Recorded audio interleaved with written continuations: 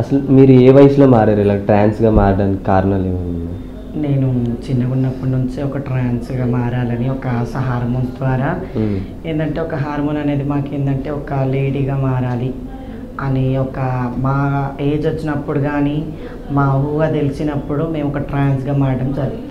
అంటే హార్మోన్స్ వల్లేనా? లేకపోతే చుట్టూ ఉన్న లొకాలిటీ వల్ల లేకపోతే ఇలా ఏమన్నా జరిగింది? లేదు లేదు హార్మోన్స్ ద్వారా. ఓన్లీ హార్మోన్స్ ద్వారా. మరి ఫస్ట్ టైం మీ ఇంట్లో చెప్పినప్పుడు మీ వాళ్ళు ఒప్పుకున్నారా? లేదు. చాలా లొల్లిలు అయినాయి. కొట్టారు తిట్టారు. చాలా టార్చర్ కూడా అనుభవించారు ఫ్యామిలీ ద్వారా. హార్మోన్ చేంజెస్ అంటే అసలు ఎలాంటివి వచ్చాయి మీకు? అంటే- మీ ఫీలింగ్స్ ఎలా ఉండేవి?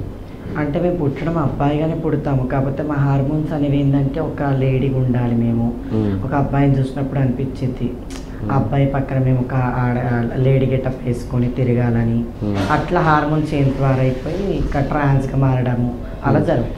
మరి మీ స్కూల్ టైమ్స్లో లేకపోతే మీరు కాలేజ్లో టైమ్స్లో అమ్మాయిల దగ్గర కూర్చోవడం లేకపోతే అబ్బాయిల దగ్గర ఎక్కువ అంటే డిఫరెంట్గా మాట్లాడడం ఇలాంటివి ఏమైనా జరిగాయా?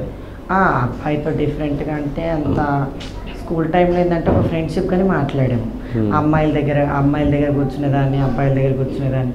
ఏంటంటే ఇంకా పక్కన కూర్చుంటే ఒక ఏమంటారు వేధించడం కానీ మన ప్రవర్తన చూసి ఏంటంటే ట్రాన్స్జెండర్గా మాడడం ఒక పాయింట్ ఫైవ్ అనడం కానీ. లేకపోతే గే అనడం కానీ ఇలాంటివి స్కూల్ టైంలో కూడా ఫేస్ చేసిన ప్రాబ్లం నేను ఓకే.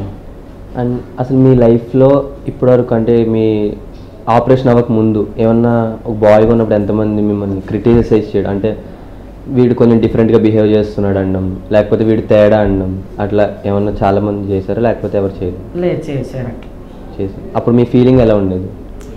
అంటే ఇంకా బాధగా అనిపించేది. బాధగా అనిపించింది. అండ్ మీకు ఆపరేషన్ జరిగే టైంకి అసలు అంటే మీ ఏజ్ ఎంత ఉండేది? నేను ఆపరేషన్ చేయించుకున్నప్పుడు నా ఏజ్ Hmm. ఫిఫ్టీన్ ఉండేది. ఫిఫ్టీన్ ఇయర్స్కి మీరు ఇలా మారారు. అండ్ మీ ఫ్యామిలీ అంటే మీతో ఇప్పుడు ఎలా ఉంటుంది? ఒకప్పుడు ఎలా ఉండేది? ఒకప్పుడు అంటే ఇంకా ఫ్యామిలీది వాళ్ళ బాధ వాళ్ళ మమ్మల్ని తిట్టడం కానీ టార్చర్ ఉండడం కానీ అట్లా కొన్ని రోజులు నేను ట్రాన్స్ ట్రాన్స్గా మారే టైంలో చాలా అల్లొల్లిలు అయ్యి అట్లా చాలా ప్రాబ్లం ఫేస్ చేశాను.